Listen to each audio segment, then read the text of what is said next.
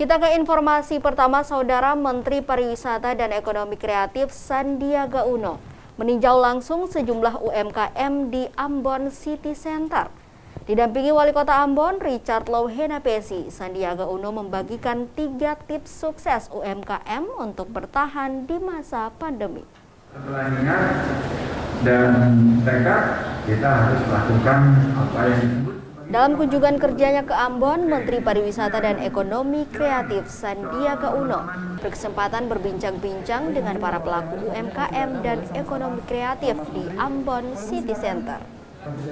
Pada bincang-bincang yang bertemakan ngopi sore dengan Sandiaga Uno, ia berpesan agar setiap produk yang mau dipasarkan mesti memiliki konten menarik agar mudah diterima di pasar.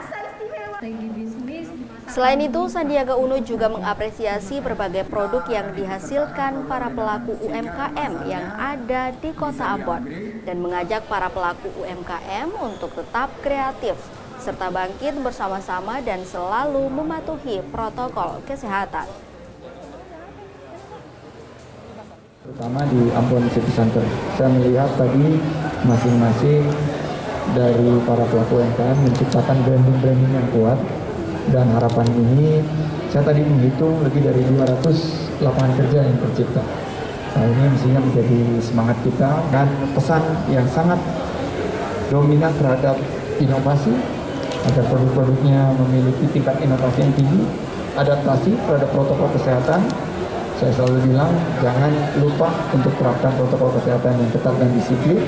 Dan ketiga adalah kolaborasi.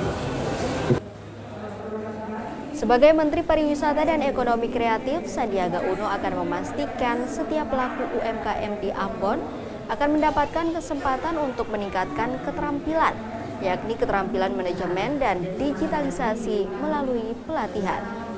Yahya Lating, Kompas TV, Ambon, Maluku.